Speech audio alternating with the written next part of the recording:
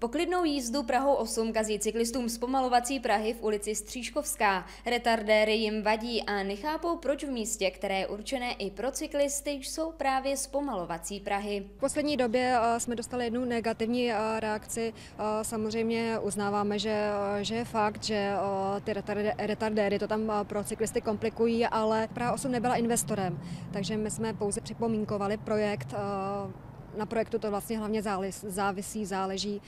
My s tím celkem nemáme moc co dočinění. Navíc ulicí Stříškovská vede cyklotrasa a ne cyklostezka, jak se někteří cyklisté domnívají. To znamená, že cyklotrasa je určená jak pro kola, tak pro auta a retardéry tam mohou být. Primárně nám šlo o to ochránit eh, chodce a místní obyvatele před eh, automobily, který by tam jeli rychle, proto tam eh, jsou ty zpomalací Prahy.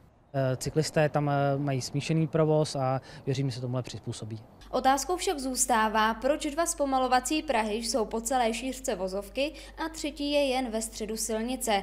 Cyklista ho tak může bez obtíží obět a nemusí přes něj složitě přejíždět. Podle technické zprávy komunikací odlišné Prahy byly zapracovány do projektu, který schválila Praha 8.